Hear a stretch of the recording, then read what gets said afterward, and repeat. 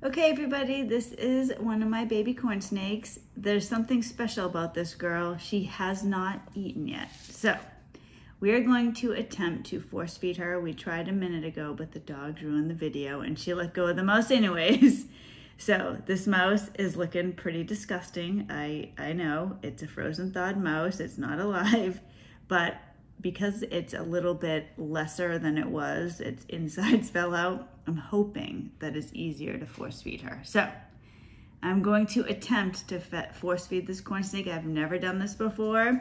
I have force fed other snakes to great success, but not a corn snake. I've never done this.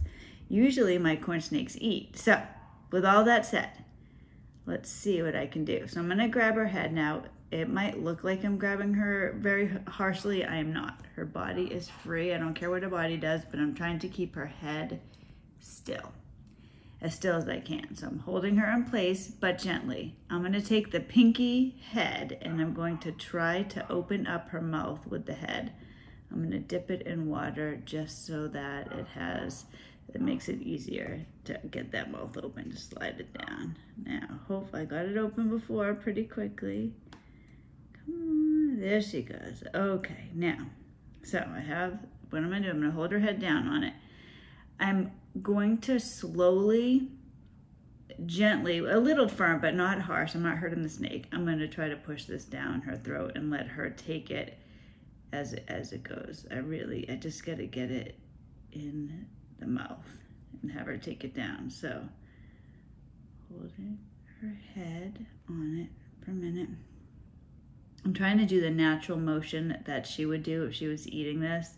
She would be biting it, pulling it in, biting it, pulling it in.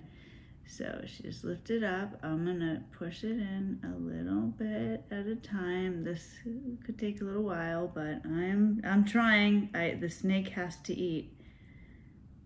All right, come on now. Sometimes these pinky mice can get really gross, but like I said, that could benefit us tremendously here.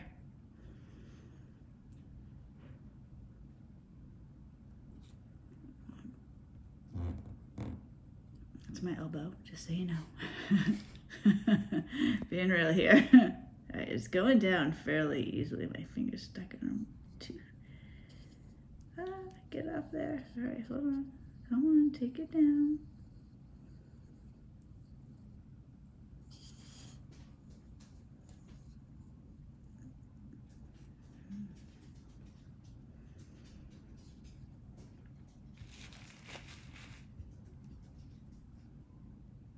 Great if she could help me a little bit. All right, now I'm going to take these and see if I can push this in. It's going down fairly easily. Come on now. Hold it here for a minute. I would love it if she just started taking it. There's not that much left, but you can see her tongue sticking out the bottom. Snakes have the ability to breathe while they're eating prey, just so you know. So she is able to breathe.